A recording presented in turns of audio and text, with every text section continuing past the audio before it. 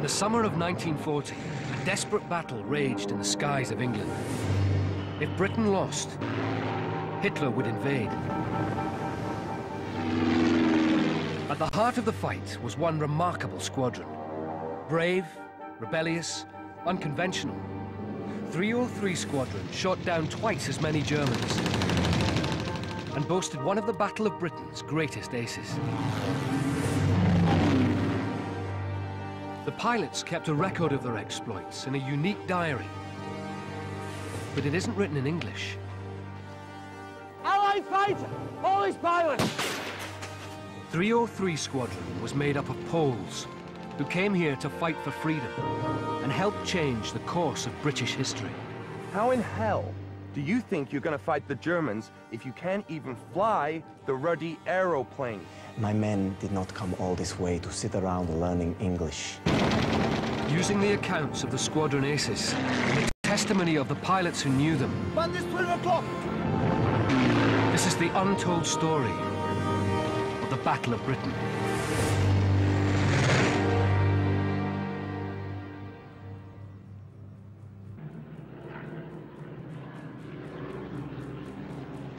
Only the English Channel and a few hundred RAF pilots stood between Britain and invasion.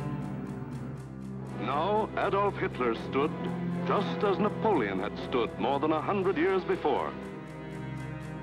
As Britain prepared to fight to the death, thousands of Polish servicemen came here, the last free country in Europe. We knew that England would continue fighting, you see, and, and uh, uh, we could sort of join them. They had fled their homeland and crossed Europe. Now the Poles had only one desire, to fight the Germans.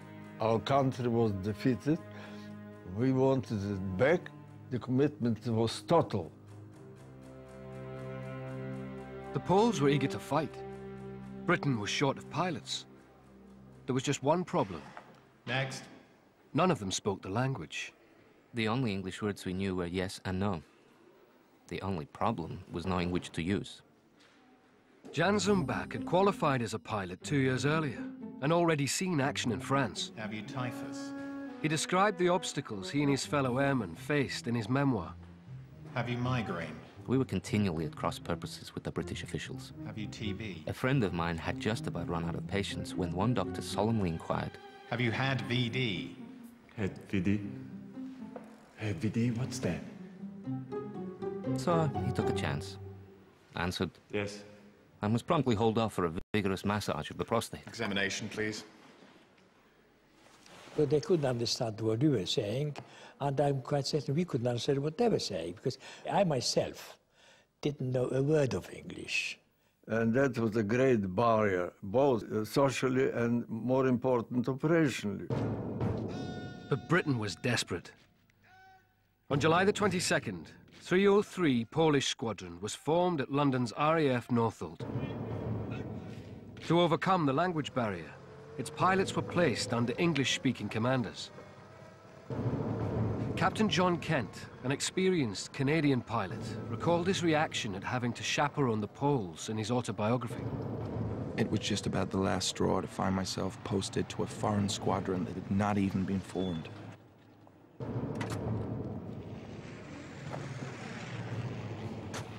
I was thoroughly fed up and despondent. Kent wasn't alone in his view. Hello, boys! They didn't think we, we really have any stomach for, for fight anymore.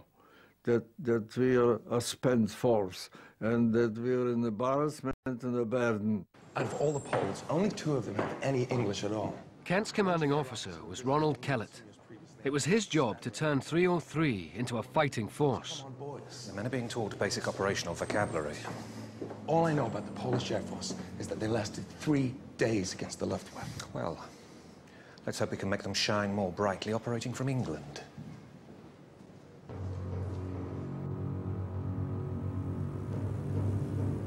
Time was running out.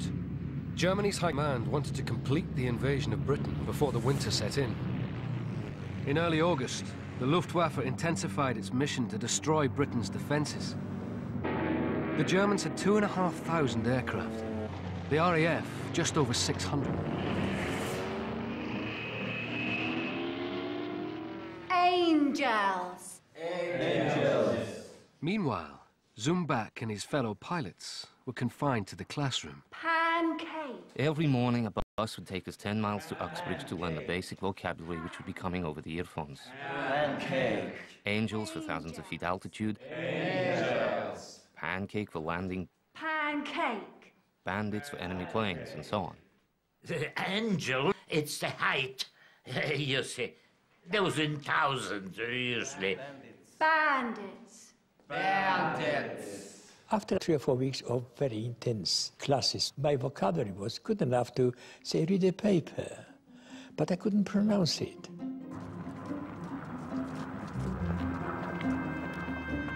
Captain John Kent came up with his very own strategy to vault the language barrier.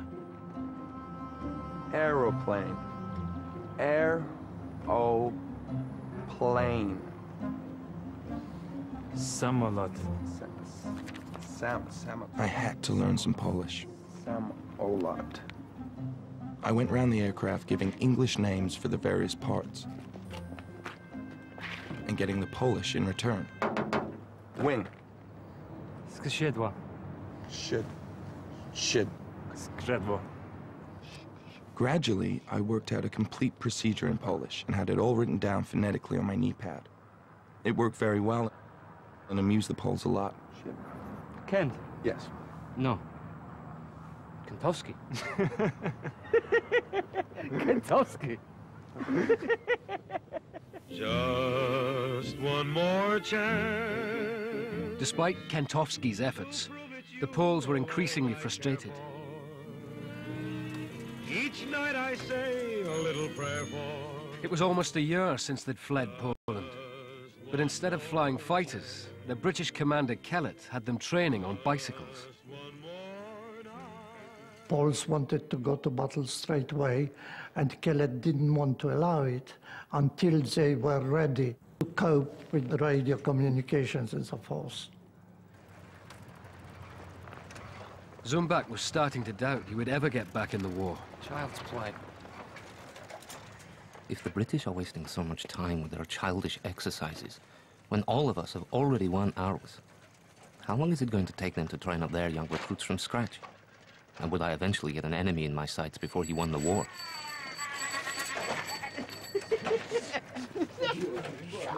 You man, stop that! We were all very, very eager to get on with uh, uh, get on with flying, but we had to wait, so we were a bit sort of frustrated. Listen, you're here to train for battle with the Germans and not to fool around and argue with each other. So when exactly will my men start training in hurricanes? Witold Urbanowicz was a legendary Polish flying instructor, desperate to get his pilots back in action. I brought my cadets from Poland through Romania, Syria, and France. I don't want people crashing around the sky until they understand what they're being told to do. My men did not come all this way to sit around learning English. There's nothing more that we can show the Poles on trainers. Very well. Have the squadron proceed to operational training on hurricanes. The Poles of 303 were finally back in the air. But before they could fight the Germans, they had to learn to fly in formation, the British way. Perhaps the training period was unnecessarily prolonged, and this certainly irked the Pole, but we still had to be quite sure they knew how we operated. Back home, the Poles had flown planes with fixed undercarriages. In a British fighter, they had to remember to lower the wheels before landing. Not all of them did. We had several aircraft landed with the undercarriage retracted. One of these was put down by Sergeant František, Stand to attention, Francis. and I tore him off a first class strip. Do you have any idea of the damage you've just caused? He didn't know what I was saying, but he knew he had to answer in a foreign tongue and kept repeating, Oui, mon commandant. Amongst some of the things I said to him was, How in hell do you think you're gonna fight the Germans if you can't even fly the ruddy aeroplanes? Oui, mon commandant. Go on. Go. What Kent didn't know was that Joseph František had already shot down 11 German aircraft in France. Dismissed. But František would soon show Kent exactly what he was capable of.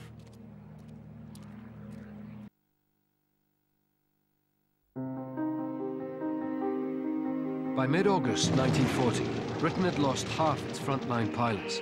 The saying was that if you uh, lasted the first week of an operational tour, you're probably quite safe. The British believed the German invasion was just weeks away. With recruits as young as 18 being killed quicker than they could be trained, the RAF was losing the battle for Britain.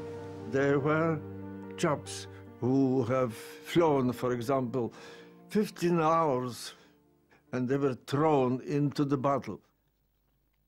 A lot of them didn't come back from their first flights. Despite this, the experienced Poles of 303 were still not cleared for action. On the 30th of August, the British commander Ronald Kellett led them on yet another training flight. But this would be a training flight with a difference. As Ludwig Paszkiewicz wrote in the squadron diary, After climbing about 10,000 feet, we flew northward. After a while, I noticed ahead a number of aircraft carrying out various turns. Green 1! Green 1 to have a new leader! Man, it's 12 o'clock! Paszkiewicz was an experienced pilot, but had not yet engaged the enemy in combat. Man, it's 12 o'clock! The training flight had strayed into a battle. A German raid was under attack over St. Albans. The sight of the enemy was too much for Paszkiewicz. Without waiting for orders from his British squadron leader, he took matters into his own hands. I opened up throttle and went in the direction of the enemy.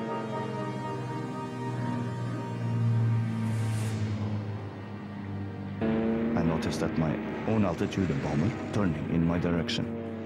When he noticed me, he dived sharply down. I turned over and dived after him. I noticed the black crosses on wings. Then I aimed at the fuselage and opened fire from about 200 yards, later transferring it to the port engine, which I set on fire. I drew very close, and I gave him another burst.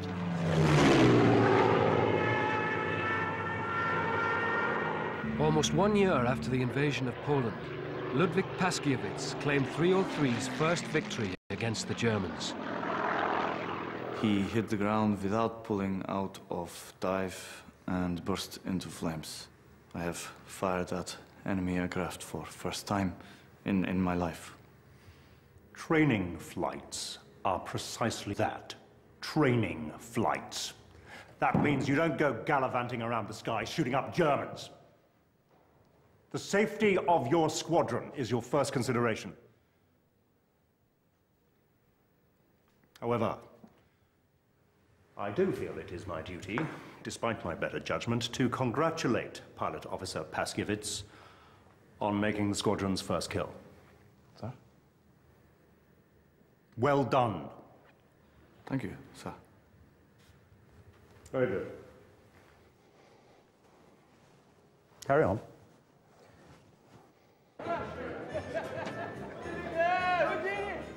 Although he had already been in action in Poland and France, it was Paszkiewicz's first kill. He was hugely elated, and so were we. Under the circumstance, sir, I do think that we might call him operational. That night, Kellett put in a call to fighter command. Thank you, sir. The Poles were back in the war. 303's first operational day marked a bitter anniversary. It was exactly a year ago that the Germans had invaded Poland.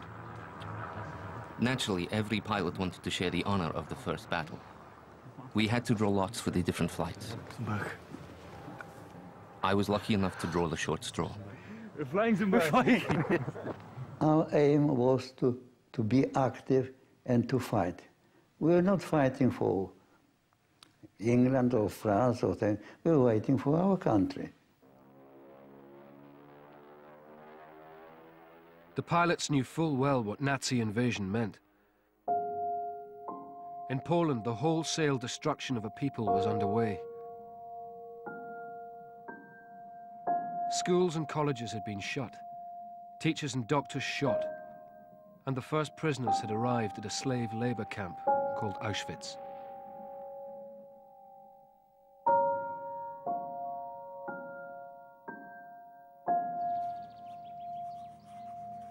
Since leaving Poland, Miroslav Feric had made it his duty to keep a record of events in what became the squadron diary.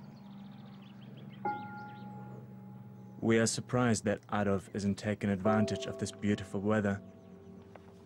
You'd think he'd be bombing so hard you could hear echoes across the island. But it hasn't started. It was Feric, you see, that was that kept the diary and he would invite other pilots to make a contribution. Well, I was never invited to that. You I was too, too small of a little minnow, you see, the, among the aces. What's going on? Maybe it's a lack of personnel. He's planning something.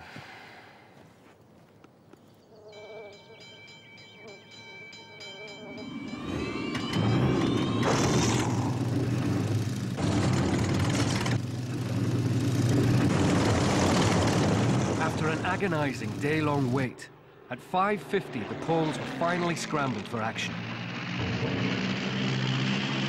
Fighter Command radar detected 200 German aircraft crossing the channel. Red leader, red leader! Bandits, 2 o'clock! 303 was about to be tested in battle for the first time. Pick the targets and go get them. Feric had fought the Germans in Poland in outdated aircraft. Now he experienced his first dogfight with the enemy in a modern British fighter. I caught up with him easily. He grew in my sights until his fuselage fit the whole luminous circle. It was certainly time to fight. I did so quite calmly and was not even excited, rather puzzled and surprised to find that it was so easy. Quite different from Poland, where you had to scrape and strain until you were in a sweat. And then instead of getting the busted, he got you.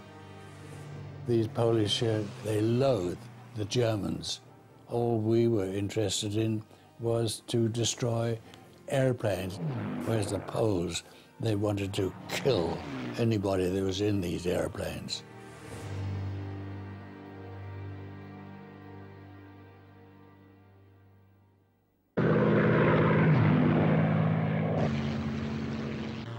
In less than 15 minutes of furious vengeance, each of the six pilots of Kellett's flight had shot down a Messerschmitt. Witold Urbanowicz recorded their spectacular first day in the squadron diary.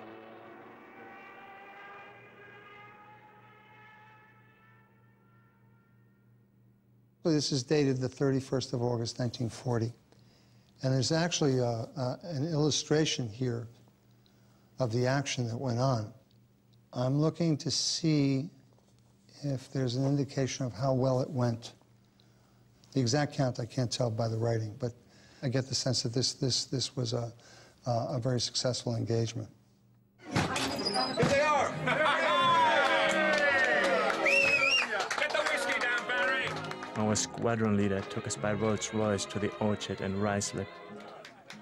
They had found out on the grapevine that the Poles had brought down six Messerschmitts and they were celebrating.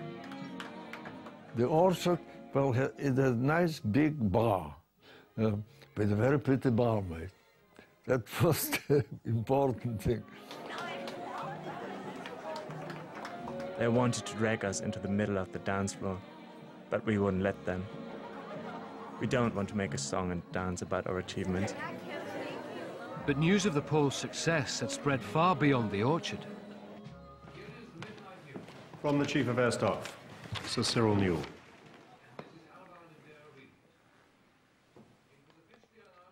Magnificent fighting, 303 Squadron. I'm delighted. The enemy has shown that Polish pilots definitely on top. Congratulations. 303 Squadron has opened its account with a vengeance.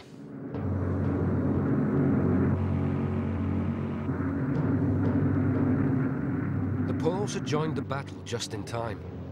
Hitler's planned invasion was thought to be only weeks away.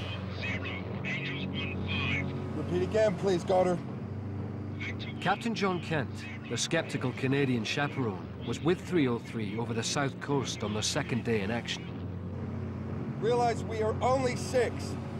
I repeat, Kent's flight of six planes faced 150 enemy aircraft.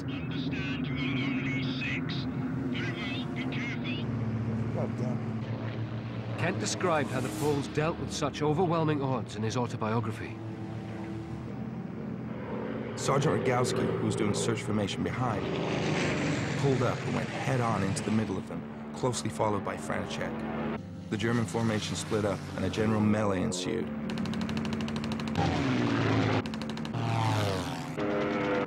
Kent watched amazed as the Poles flew head-on at the enemy bombers. With a closing speed of over 600 miles an hour, the slightest error would be fatal. Streams of great trace of smoke crisscrossed the sky in all directions. It was impossible to hold a steady aim. And snap shooting was the order of the day. In the frenzied dogfight, a Messerschmitt repeatedly latched onto Kent. But each time it closed in for the kill, it was chased off by a Polish pilot.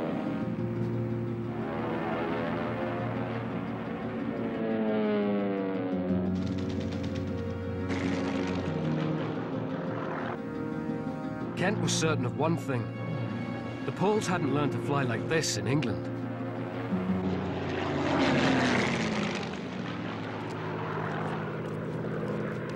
Back at Northolt, Sergeant. Kent did his best to express his gratitude. Thanks. For keeping that Hun off my tail. The Hun. Off my tail. Okay. Not one Messerschmitt. Six. But not all of 303 had returned to base. In defiance of orders, Joseph František and another pilot were harrying Germans all the way back to France. František had a habit of departing from the squadron and hunting on its own, which was perhaps against the discipline, but at the same time, because of his individual expeditions, his victories mounted. František, a Czech pilot who had joined the Poles when his own country surrendered, was well on his way to becoming one of Britain's highest scoring aces.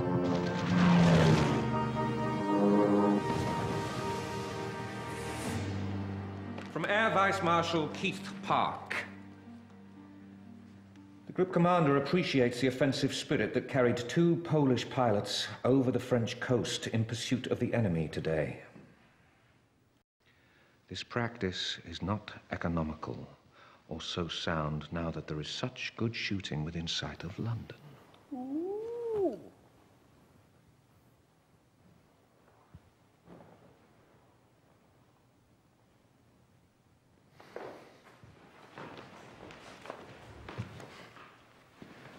I'm killing Germans. Many excellent pilots have died due to lack of discipline. Do you want to become one of them? I fly alone.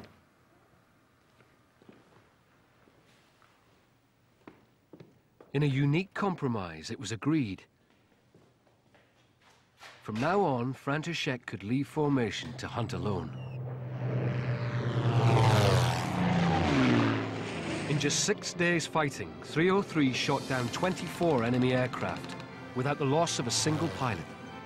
We were one fighting family. Together we dreamed of a brighter tomorrow, when after the war, we would return to our motherland. As the battle entered a bloody new phase, the Poles would be at the heart of the defense of Britain.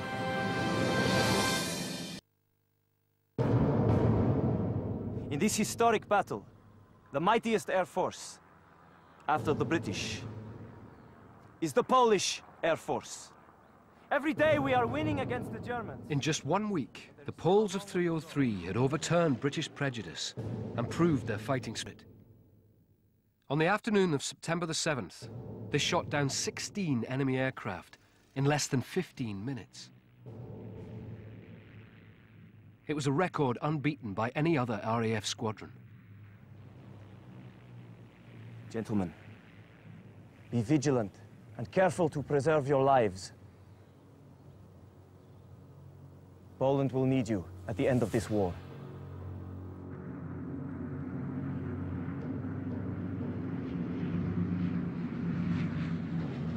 That same day, the German war machine unleashed its fury on a new target, London.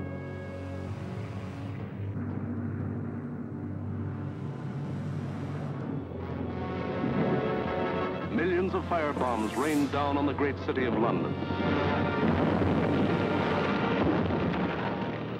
Hitler's planned invasion was imminent. In preparation, the Luftwaffe attempted to smash the spirit of the British people.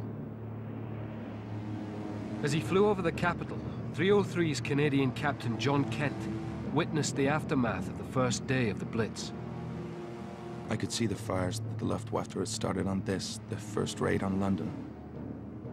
I had not realized that I could feel so deeply. But at that moment, I would have butchered any German I could lay my hands on. I was beginning to understand the attitude of the Poles. They're very much like us. We find that uh, apart from the language and uh, the national differences, that uh, we thought and they thought more or less on the same lines, which was uh, kill the Hun. But not everyone believed a handful of ill-disciplined Poles could be shooting down so many Germans. Chief skeptic was their own group captain, Stanley Vincent. Treat these claims with a lot of reserve. Sir? I want you to go through them with a fine tooth comb. Yes, sir.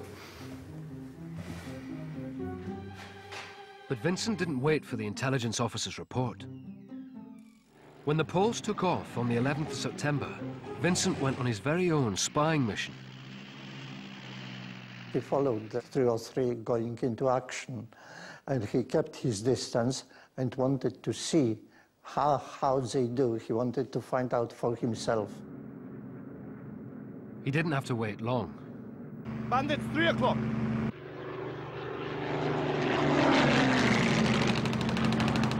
A veteran of the First World War, Vincent had never seen flying like this. The Poles had jumped in on the scattered individuals, and suddenly the air was full of burning aircraft, parachutes, and pieces of disintegrating wings.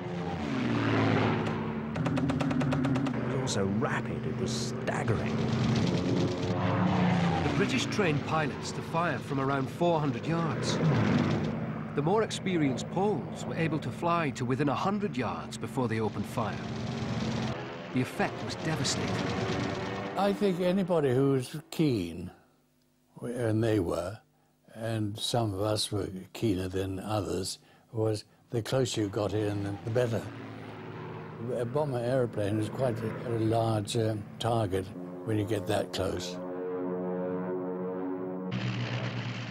Every time Vincent tried to get a German in his sights, a Pole dived in front of him and shot down his target. Vincent was transformed, from skeptic to believer. I told Wilkins that what they claimed they did indeed get. Any luck, sir? My God. They're doing it. Sir? Scramble! The success of 303 Polish Squadron was becoming a powerful weapon of British propaganda. Squadron leader Urbanowicz is watching his boys getting into formation. It'll be known within an hour or so whether a German plane has been shot down or maybe two or three or even more Germans. Good luck.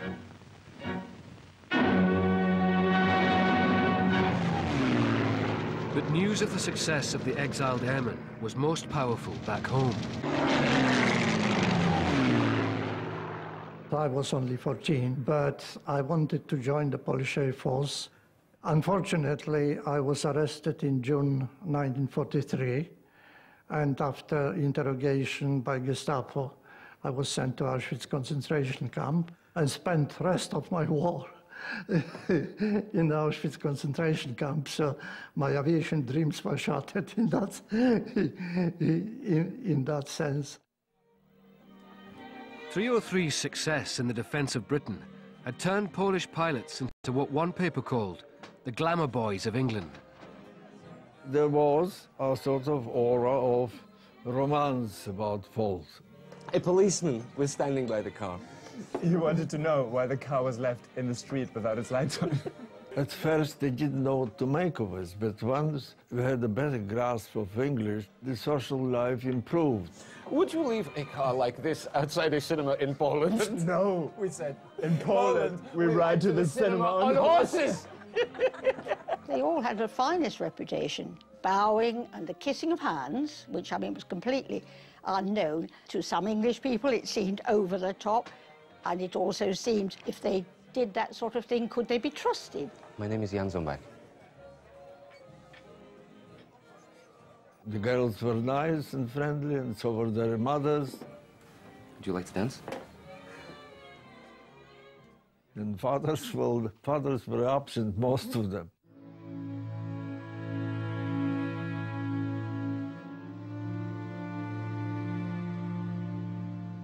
I'm not surprised that the English girl went after the Polish boys.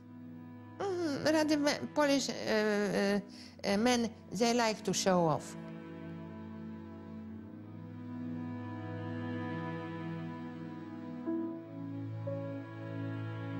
She put a record on and clung even tighter than she had on the dance floor. Five minutes later, we came up for air and she withdrew into the bathroom.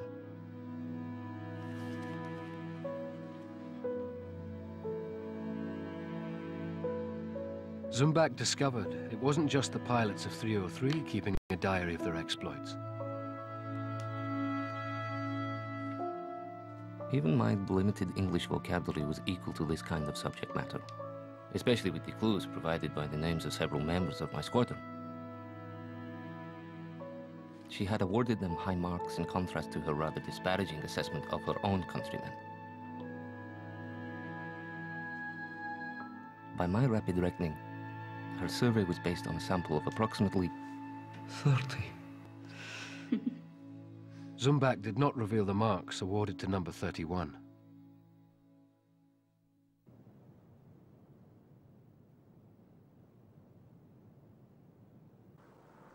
The British believed Hitler's planned invasion was just days away. On the 15th September, the Luftwaffe launched what it intended to be a final knockout blow to destroy London and Britain's morale. This day would decide the fate of Britain and stretch every pilot to breaking point.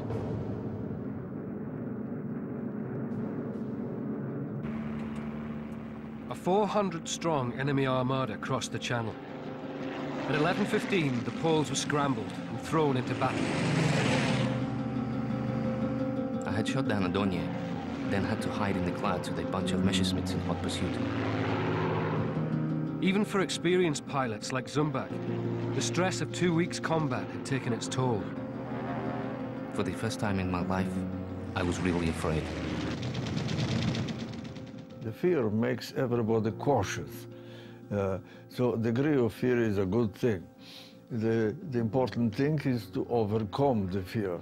And naturally, longer you fly, that process of initial fear, of overcoming the fear, wears you out. Everybody was afraid at one time or another. You don't know what the hell is going to happen, where are you going, and, and how the other sides will react. Seconds seem to pass like minutes. You live in a kaleidoscope of rage and icy detachment, continually alternating fits of attack and escape, now freezing, now sweating. Then, suddenly you emerge with a shock of surprise into a peaceful sky, as if you died and been reborn into another world. You black out if you're in a turn. It's dangerous because it's the time when you're blacking out you can't see, you don't know who is behind you.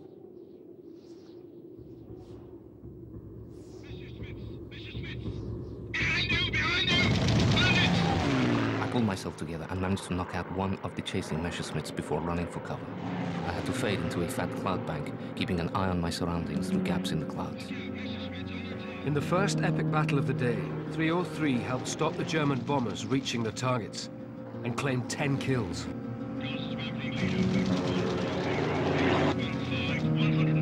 But the squadron joker, Zumbach, was to run out of luck. Messerschmitt special used to come in, dive, and out.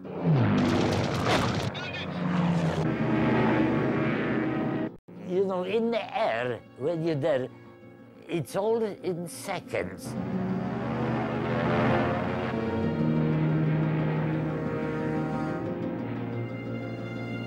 I've been hit several times, but I've been down twice, only twice. And each time, I got away, you see.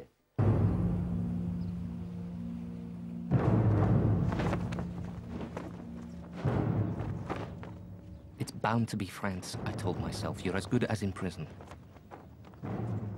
I carefully fold my parachute, feeling pleased with myself for having kept hold of the ripcord. The sign of a cool head. Some men appear, and fire each time I make the slightest move. They all come to a halt. Except for one man who approaches with a peculiar weaving walk. He's pissed, I think. So, I took out my pistol, held it at arm's length, and threw it away. Then I see his uniform. It's British. At the top of my voice, I yell out, Allied fighter! Polish pilot! Sorry I fired. I, I didn't aim at you. Then why did you fire? I threw my gun away! To stop you moving! You're standing in the middle of a minefield. Zumbach was out of the fight.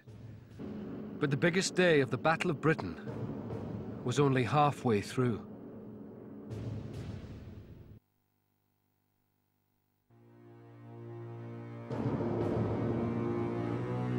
On the afternoon of the 15th of September, a second wave of German bombers pressed home their attack. As the battle neared its climax, every available aircraft was scrambled to fight for the survival of Britain. Up to 10 o'clock, 175 German aircraft had been destroyed in today's raids over this country. The Poles had only nine aircraft left. At 2.25, they were scrambled to help repel a 300-strong enemy force. Between 350 and 400 enemy aircraft were launched in two attacks against London and southeast England. About half of them were shot down.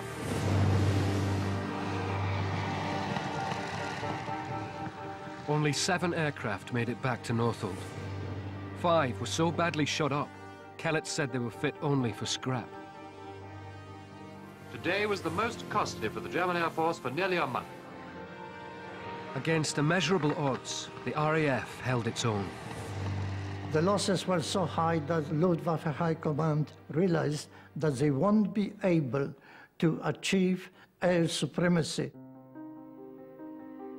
His plan to break Britain from the air had failed.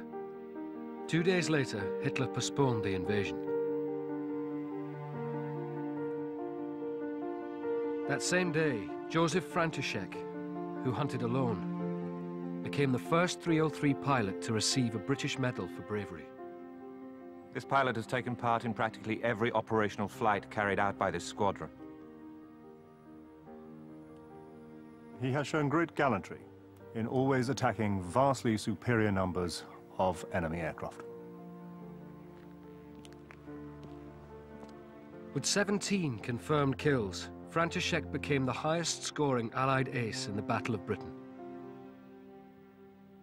He was killed less than a month later. 303 Squadron had shot down twice as many Germans as the leading British unit, for a third of the losses.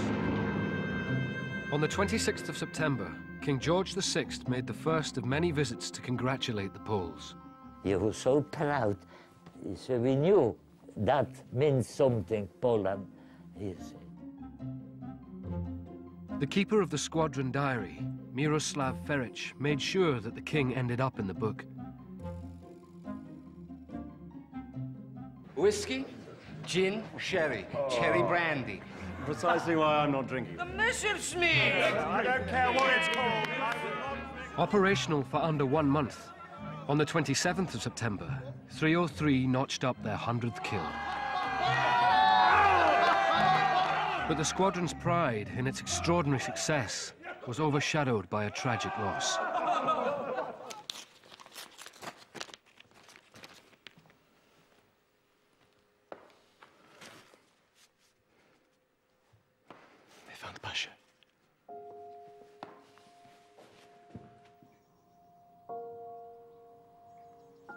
Ludwig Paszkiewicz, the pilot who broke formation to make 303's first kill, had been shot down.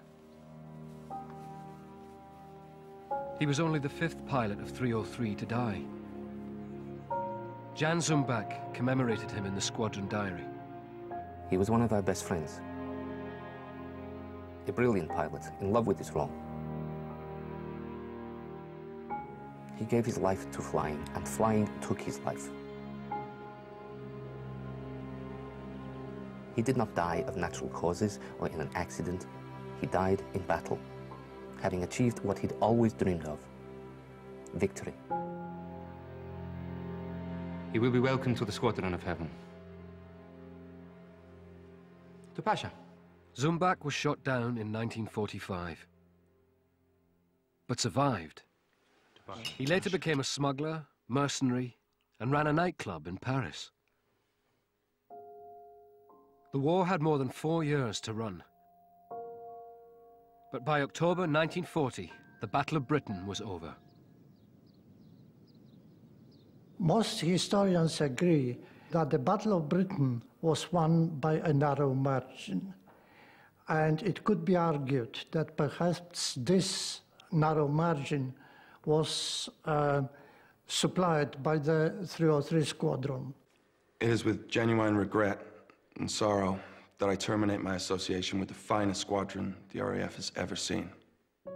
Captain John Kentowski left 303 to lead his own squadron. My profound thanks for keeping me alive and teaching me how to fight. I'll never mind the flannel. In the book. Miroslav Feric was killed on patrol in 1942.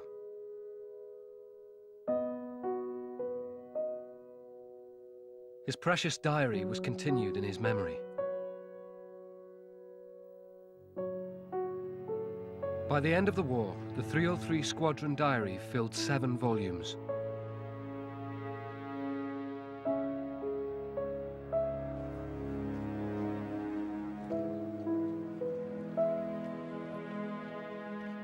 None of the 303 aces who fought in the Battle of Britain are alive today. Every year, a dwindling band of veterans gather at the Polish Memorial at Northolt to honor the fallen and keep their stories alive. This is my highest decoration, Virtuti Militari. It's one of the highest Polish decoration for bravery. And here, defense medal, defense of the country is Britain, uh, you see. 1,973 Polish airmen lost their lives in the Second World War. But in spite of their sacrifice, Poland would be denied its freedom when the war ended. In February 1945, with victory in sight, the Allied leaders met at Yalta. Britain, which had gone to war to defend Poland, now faced the growing power of the Soviet Union. Yalta was complete reversal of the British stand, and it was terrible shock for the Polish forces which fought so valiantly. To pacify Stalin, at the end of the war, the Allies handed control of Poland to the Communists. The dream of freedom the Poles had fought and died for was over. The Western Allies won their war. Everybody won, except us. We lost.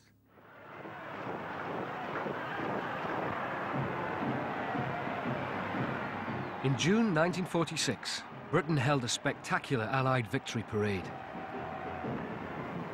Czechs, Chinese, and Iranians all marched down the Mall past King George VI. But not a single Pole. My father was on the sidelines as, as the parade was going down the mall, not only given no credit for it, but, but basically being uh, denied existence. It broke his heart. Plain and simple, it broke his heart. Not one of the 200,000 Poles who fought fascism marched with the Allies that day. Britain did not invite them, for fear of offending Stalin. We felt that the Allies really betrayed us. We were absolutely shattered. We were in despair, really, what to do. And what about you, Ivanovich? Will you go back to Poland? The papers are saying you should go home. Rebuild your country. There's no work for you here now. No. You know what brought us to France. And to here. You have won the war. But we have lost it. Witold Urbanowicz did later return to Poland. Accused of spying, he had to flee to America. Other pilots were not so lucky. A lot of my friends did go back, and some of them, or a lot of them actually, uh, made a sticky end. Unless you were a communist, you, there was no future for you. At the end of the war, we were really not wanted in this country anymore. There is so many of us, and uh, we are competing for the jobs. People didn't really mind where we go, didn't, didn't particularly uh, press, press us to go here, or they just get out of the country, leave, go back to Poland, or go anywhere you like. I think we never been really welcome by English, really welcome. That's for sure. Rather, some may be uh, polite and so because we know only English politeness, but, uh, but not as a real welcome to this country, Polish people. I don't know why not. To find out more about 303 Squadron and to play the game, visit channel4.com slash